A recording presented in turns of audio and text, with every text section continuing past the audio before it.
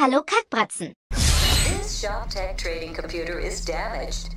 Install replacement parts or contact your friendly ShopTech maintenance personnel. Na, gehört ihr auch zu der Gruppe von Gamern, die nach der Veröffentlichung der Fallout-Serie auf Amazon plötzlich zu flammenden Fans der Fallout-Spiele geworden sind? Und mit Spiele meine ich in erster Linie den vierten Teil, da dieser wohl am zugänglichsten ist. Kann ich verstehen. Ist kein Problem. Auch wenn ich der Meinung bin, dass ihr Kackbratzen komplette Luschen seid und wenn überhaupt, dann hättet ihr mit Fallout 3 anfangen sollen, da eben der dritte Teil um einiges besser war als der weichgespülte vierte Teil, da er die postapokalyptische Stimmung viel besser eingefangen hat, was sich auch auf den Schwierigkeitsgrad niederschlägt. Fallout 3 war definitiv grausamer, aber bei weitem nicht annähernd so schwierig wie die ersten beiden Top-Down-Rollenspiele Fallout 1 und 2.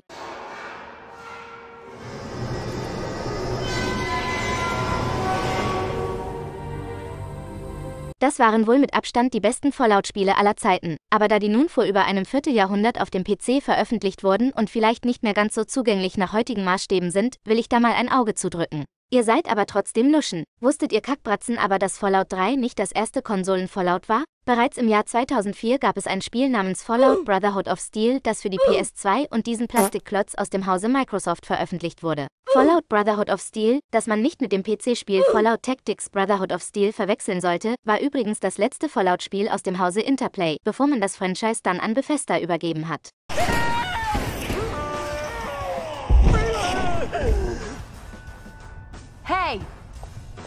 Back in line, slaves. Wenn es ein schwarzes Schaf in der langen Liste an Fallout-Spielen samt den Spin-offs gibt, dann ist es mit Sicherheit Brotherhood of Steel, das übrigens auf der abgespeckten Engine von Baldur's Gate Dark Alliance läuft und in etwa genauso fluffig lässt es sich auch spielen. Anstatt eines feinen rundenbasierten Rollenspiels mit einer schönen und offenen Spielwelt warfen die Leute von Interplay einen komplett linearen Hack-and-Slash-Titel auf den Markt.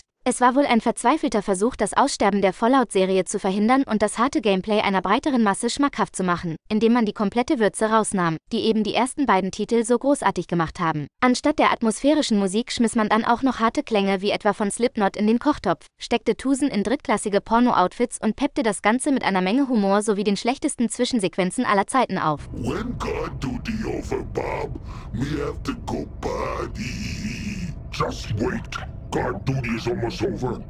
But we have to go bad. Okay, okay. You go, I'll stay.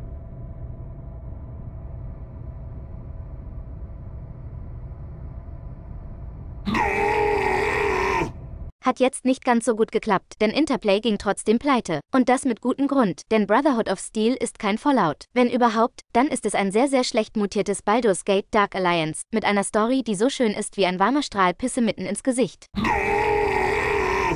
Wer will, kann hier schon mit dem Video abbrechen. Wem aber ein stumpfer Buttonmesher nicht abschrecken kann, der kann gerne weiterschauen. In the 1950s, we dreamed of a better world. Clean fusion powered cars, robots that walk the dog. Peaceful existence thanks to the wonders of science. Brotherhood of Steel spielt zwar im Fallout-Universum, aber man hat sich trotzdem die Freiheit genommen, ein paar Dinge etwas abzuändern. Zum Glück war man so intelligent, die Hauptelemente beizubehalten. Noch immer befindet man sich in den ehemaligen Vereinigten Staaten von Amerika, mehrere hundert Jahre nach ihrer Zerstörung durch einen Atomkrieg mit China, und die Welt ist immer noch von Menschen, Gulen, Supermutanten und anderen Abscheulichkeiten besiedelt. Wasteland lies the small town of Carbon. Eines der besten Dinge an der Fallout-Serie war schon immer ihre akribisch detaillierte Hintergrundgeschichte, aber in Brotherhood of Steel hat man sich leider einen Scheiß drum gekümmert. Was man im Spiel auch vergeblich suchen wird, sind die klassischen Nuka-Cola-Flaschen samt ihren wertvollen Kronkorken. Da Interplay anscheinend die Kohle ausging, schlossen sie einen Deal mit dem Energy-Drink-Hersteller Bolz, weshalb im gesamten Spiel Werbung für diese Plöre gemacht wird, was Brotherhood of Steel somit genauso kacke macht, wie dieses unsägliche Energy-Drink-Pulver-Sponsoring hier auf YouTube. Wenn das Zeug so toll ist, dann sollten sich diese Sp den Kram rektal einführen. Es kommt bei den Leuten hinten zwar immer noch Kacke raus, aber zumindest hat sie dann den Geschmack von frisch gepflückten Blaubeeren. Guti, aber lassen wir das. Gleich nach dem eigentlich sehr vielversprechenden Intro mit grausamer Jazzmusik darf man sich zwischen drei verschiedenen Charakteren entscheiden, um sich dann der Brotherhood of Steel anzuschließen. Zur Auswahl steht die dünne Nadja, der harte Bursche Cyrus und ein Ghoul namens Kain. Grundsätzlich ist es komplett Wurst, für welchen Charakter man sich entscheidet, da sich alle im Prinzip gleich spielen, mal abgesehen vom Ghoul, der sich durch das Spiel wie Naruto auf Crack bewegt. Keiner der verfügbaren Charaktere hat irgendwelche Spezialfähigkeiten, mit denen man im Spiel vielleicht einen Vorteil hätte. Brotherhood of Steel ist immer eine unfassbar arschige Plackerei. Nachdem man sich also für einen Charakter entschieden hat, geht's auch schon los. Eigentlich sollen wir uns nur auf die Suche nach ein paar vermissten Paladinen machen, aber schon bald stellt sich heraus, dass dank eines Kults auf uns eine noch viel größere Mission mit einer noch viel größeren Verschwörung auf uns wartet. Und so schlachten und ballern wir uns für die nächsten gut 10 Stunden durch Radskorpione, Raider, Kamikaze-Gule und eine Armee von Supermutanten. Klingt gut? Leider ist das nicht der Fall. Man ackert sich in einem komplett generischen Action-Rollenspiel durch drei immer schwieriger werdende Kapitel mit unzähligen repetitiven Leveldesign. Von Mal zu Mal werden die Kreaturen immer härter zu knacken, da sie auch immer mehr Kugeln fressen. Man versucht das natürlich mit besserer Ausrüstung und stärkeren Waffen auszugleichen, aber gleichzeitig verringert man die Anzahl an verfügbarer Munition und Stimpacks. Diese Spielmechanik macht Brotherhood of Steel so furchtbar anstrengend. Man kann zwar wie in jedem Rollenspiel mit seinen verdienten Erfahrungspunkten einige Attribute des Charakters hochleveln, aber nie hat man das Gefühl, dass man wirklich Fortschritte macht.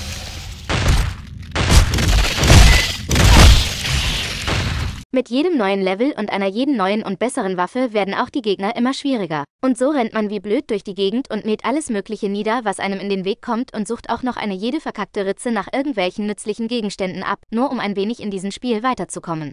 Yeah! I ain't done nothing wrong.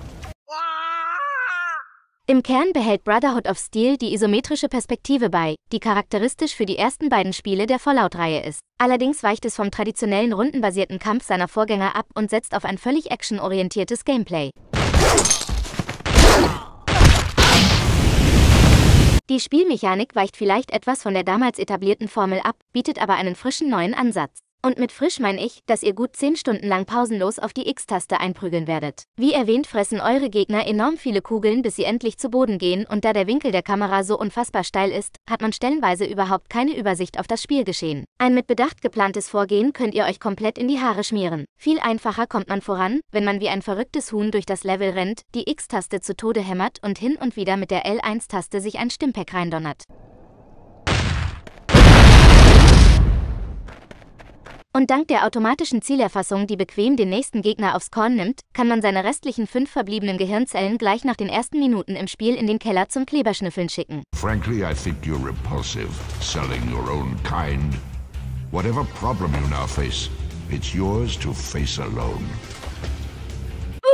Diese ganzen Explosionen und das große Blutbad mag zu Beginn vielleicht noch ganz lustig sein, aber es macht dann doch sehr schnell Klick in der Denkmurmel, wenn man erkennt, dass man nichts anderes macht, als stundenlang einer enorm langweiligen Story zu folgen, entlang fast immer gleichen engen Pfaden in den unzähligen Dungeons, in denen man dann Wellen von unsäglich nervigen Feinden niedermähen muss. Immer und immer wieder. Erschwerend hinzu kommt, dass die KI erbärmlich dämlich ist. Es kommt sogar vor, dass sie sich untereinander unabsichtlich mehr Schaden zufügen als ihr mit eurer schönsten Waffe. Die Gegner greifen auch nur dann an, wenn ihr ihnen viel zu nahe kommt. Man kann also in aller Ruhe erstmal vor einer Horde Feinde stehen bleiben, warten bis sich seine Gesundheit von alleine etwas erholt, ohne einen von den später im Spiel immer seltener werdenden Stimpack zu verschwenden, ruht ein wenig seine Wichsgriffel aus und stürzt sich dann wieder in einen sinnlosen und eintönigen Kampf. Und Bosskämpfe machen da keinen Unterschied.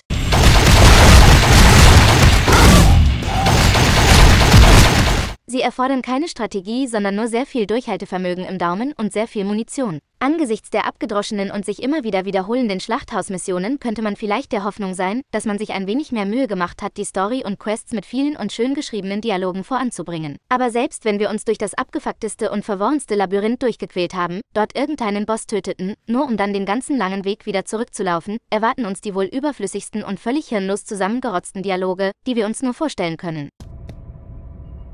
Hey there! You look much better. Not so lopsided anymore.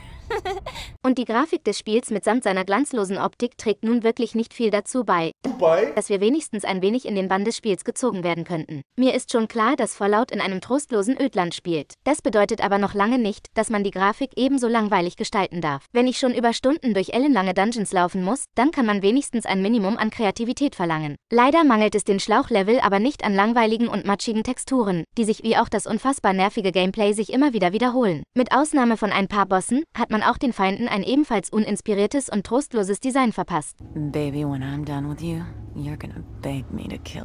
Kombiniert wird die Trostlosigkeit mit abscheulich schlechten Animationen und vorhersehbaren Angriffsmustern. Man merkt, wie Interplay mit Brotherhood of Steel verzweifelt versucht hat, mit dem Franchise noch irgendwie Kohle zu produzieren. Das Spiel ist extrem linear und bietet über Stunden die immer gleiche Langeweile in viel zu vielen Level.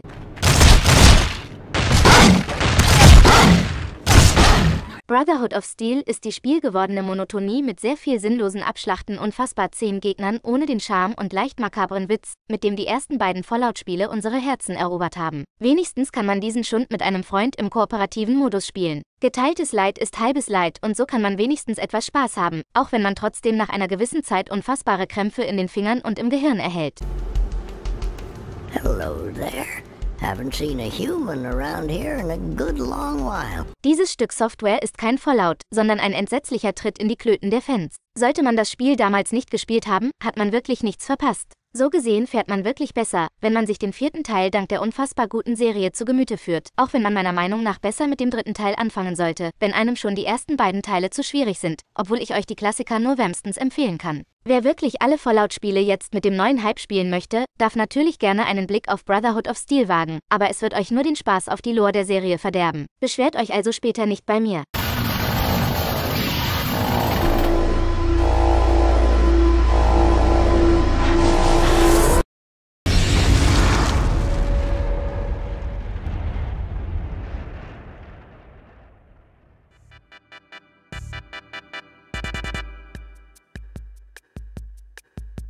Und das soll's für heute gewesen sein. Ich würde mich freuen, wenn ihr auch das nächste Mal wieder einschaltet. Wenn ihr wollt, hinterlasst einen Kommentar oder abonniert diesen jämmerlichen Kanal. Tritra Trolala.